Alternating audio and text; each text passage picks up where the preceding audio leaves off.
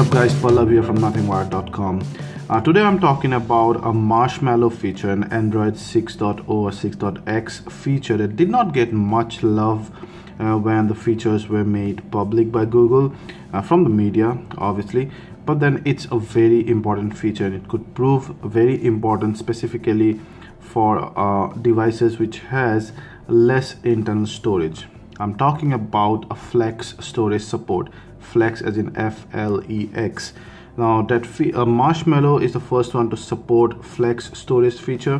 What it exactly does is that uh, it can use an sd card's storage as its internal storage. Meaning let's say if uh, if your device has uh, less storage internal storage. Um, let's say the 8 GB storage of which you can only use what less than 5 GB um, not exactly meaningful storage right? So if you have a 16 GB or even a 32 GB or even more like a supported micro SD card and that device has marshmallow and then uh, satisfy some other conditions then you you can actually use the storage of the particular micro SD card as this device's internal storage you understand how important that is right? All your games everything uh, even even if those games cannot be moved to SD card can be installed because now your SD card is no longer an SD card. It's part of your device's storage. It's that's it's that revolutionary. Now I'm going to demonstrate that to you here on my HTC Desire 630 uh, it does um, satisfy all the uh, prerequisites. Now there are this particular uh, set of you know conditions that you have to satisfy obviously.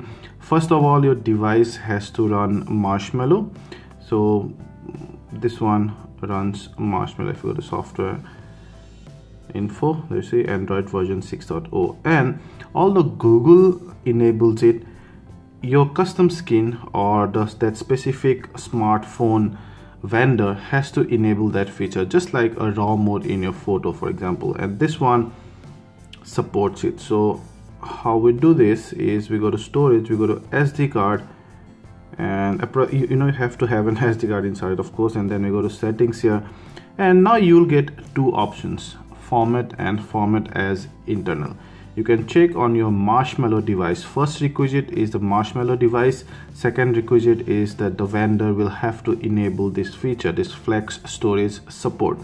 So when you go to storage and go to formatting options if you see format as internal that means that your marshmallow device does support uh, flex storage.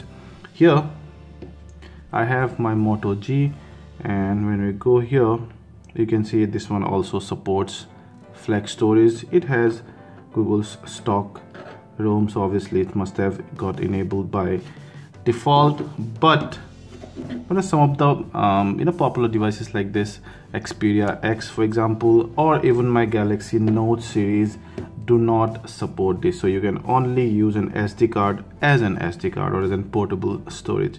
So let's go and see how it does I have I think a 16 GB mm, oh no 32 GB sorry. I have a 32 GB card inserted here and this device by default has 16 GB of storage. So we're gonna go here we're gonna go out there and we're gonna format this as internal.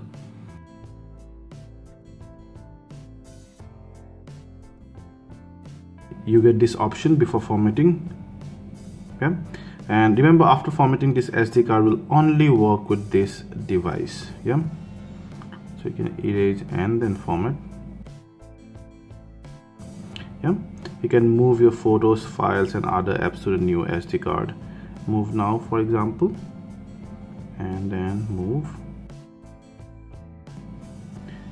There you go. Total used so this is the magic. You go to storage and there's a total use 44.29 GB so effectively I've got 32 GB plus 16 GB storage in this device and they are merged. Uh, the SD card is not treated as a separate a portable storage or a tertiary storage. So that's awesome thing you see. So that's how you use a flex storage basically. And once you've decided to bring your SD card back to its intended use you can go there and see format as portable so it's now gonna format the SD card to bring it back as a portable storage. Done. Now it returned as a portable storage. So that's how you basically use the flex storage. Thank you